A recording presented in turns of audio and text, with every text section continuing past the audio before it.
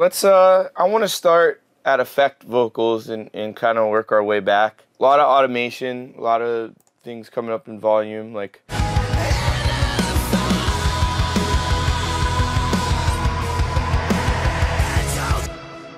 That was one of the notes from the original. They said, we really want that delay to pop out when he finishes that part, so.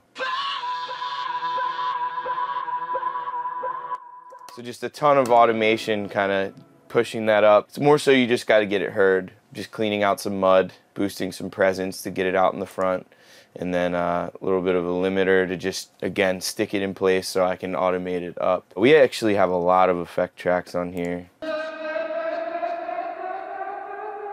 That's during the verse. I actually didn't do any processing to that. It was printed.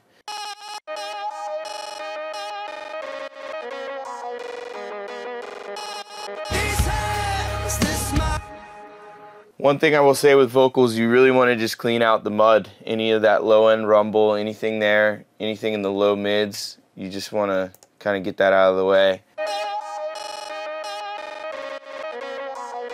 The reason I like LA3A on some of the backing stuff or effect stuff is that to me the LA3A sits in a different level. So like in 1176, I feel like the vocal gets right up here, and if it doesn't, you can add other things to make it do that. And LA3A to me is more like kind of parked back, but you can still hear things. They just don't jump to the front. It's kind of like in the middle of the mix, you know, if you're thinking depth wise. So that's why I have this LA3A, and it's again, it's so simple. It's two knobs. It's gain and gain reduction or peak reduction. A lot of these tracks are are pre-processed and printed, and th those are the ones you got. So I didn't decide to process everything. I only processed certain things that I thought needed it. So that was printed. This this would be a case of where I think what they gave me was really mangled and torn to shreds, and that was tough making that work in the mix because it while it's cool, it's not the same way I would have done it. We're just doing simple EQ there, tilt this is a great plugin. Essentially what this does is if you look like on FabFilter or something, you have a, a graph and you have that line and you can boost and cut within that line. Tilt takes that line and shifts the whole thing like this or this. So if you have something that's just needs to be brightened up but you don't want to like boost it and hear the peaks of things. This is just like leans it. Really cool plugin. I use this on guitars all the time. Not on this session but on other sessions. So put a little bit of the tilt to kind of get it out in the front a little more.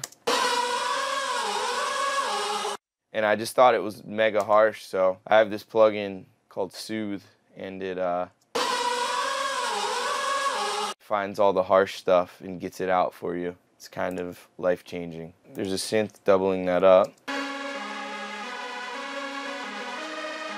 This I'm cutting here because I want to get it out of the way of the vocal but still have it support it. And then yeah, we're really just filtering this thing. These are the harmonies.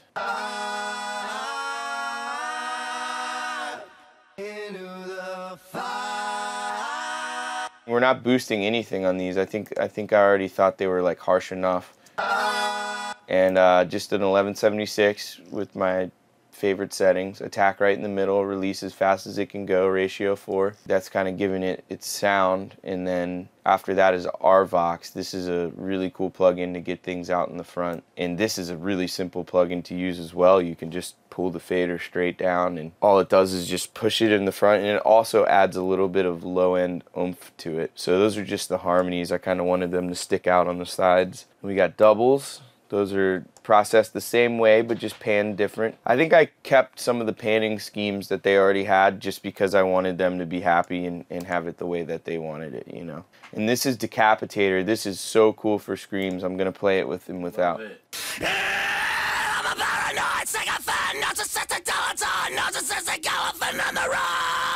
This is without.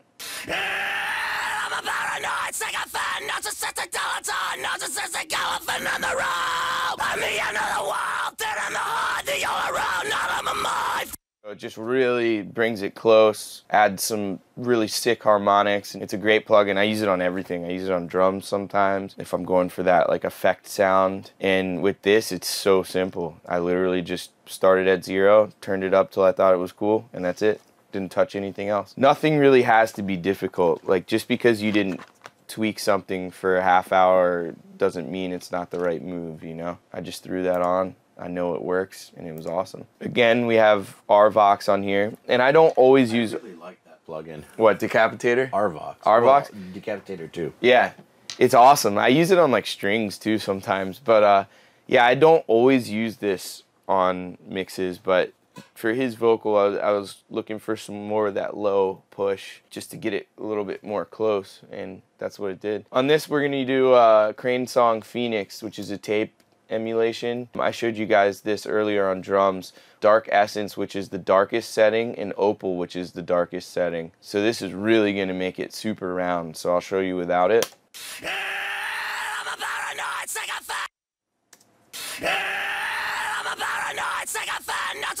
You're really getting that low mid, like just you feel it in your chest. It's kind of smoothing things out and just making it bigger. This is a really cool plugin. I definitely think people should, uh, if you have Pro Tools and you have access to this, you should definitely get it. So we have the main vocals here. These are pretty crazy. So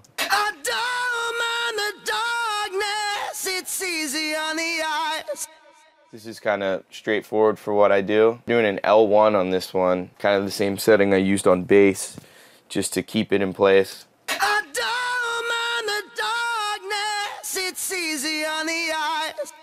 And I'm driving that into the 1176. Got a little bit of RVox, so again, yeah, I, I compress vocals a lot with a lot of different things. And we're, we're going with the uh, Phoenix, and we're going a little bit brighter on the luster setting and then uh, neutral on the top end. And, and I'm telling you, this thing, if you want to make vocals sound huge and, and kick through the mix, this is the plugin to do it.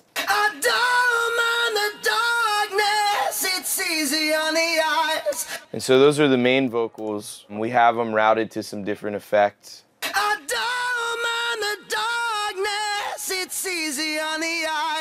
Probably just a preset that that I had sitting around for this vocal verb. Got some Echo Boy. Usually just try to find a delay that's kind of different on each side so that it's stereo and wide and out of the way of the vocals.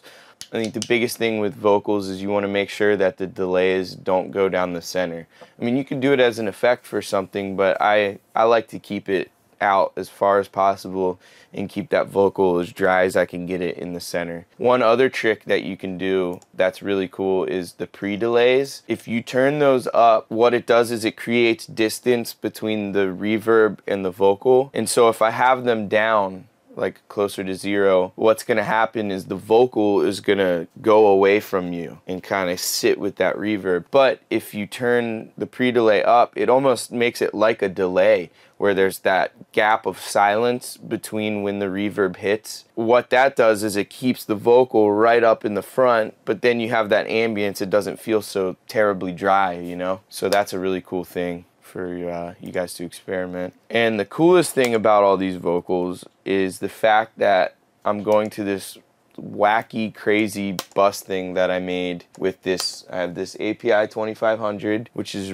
really cool. I don't normally do it this way, but I just put it on there. And I guess the best way I could explain it is because there's all those effects and all those things coming out of the sides and harmonies, doubles, reverse reverbs, all kinds of stuff. I just find that having the bus compressor on this pulls everything to the front and that was the goal with this mix is to get everything heard vocally. Added some EQ here to all the vocals. This is hitting all of them again trying to get that presence trying to get the vocals to the front. This is a really cool plugin. It's very subtle but yeah 18k shelf. We're just going for air. Can't say enough about this phoenix plugin. And this is pretty much the same setting i used on vocals a little bit less of the process but everything is hitting this. So that's how we're getting this crazy upfront vocal sound. And I'm running the bus really hot. I think it's clipping a little bit. You don't normally want to do that, but if it works, it works. And if it sounds good, then cool. I mean, that's that's my rule, but normally I don't send the vocals to the bus.